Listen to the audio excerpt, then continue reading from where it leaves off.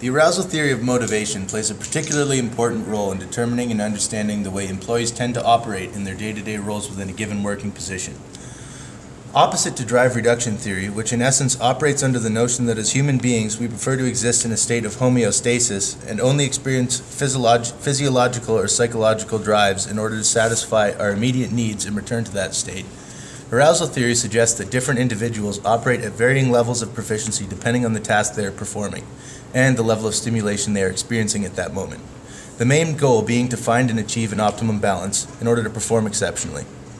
In fact, arousal theory states that people will actively seek to increase or decrease their stimulation levels in order to facilitate the need for this psychological moderation. For example, if in the workplace an employee is attempting to create an elaborate propo- proposal in which a lot of in depth thinking and research is required, a low amount of stimulation involving listening to soothing music or drinking a hot cup of tea may help to facilitate high performance.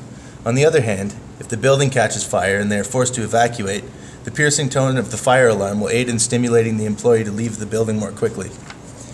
A major contributing factor in the development of arousal theory occurred in 1908 when Robert Yerkes and John Dodson began experimenting with lab rats in an effort to persuade them to complete a short maze like obstacle and ultimately entered a, a final desired area.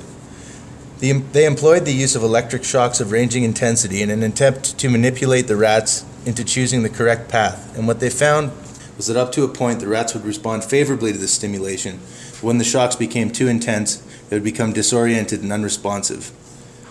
This gave birth to what would later be known as the Yerkes Dodson Law. This law states that beings tend to have uh, the quality of their performance increase as stimulation is introduced, but after a certain point, begin to experience diminishing returns when they become overstimulated.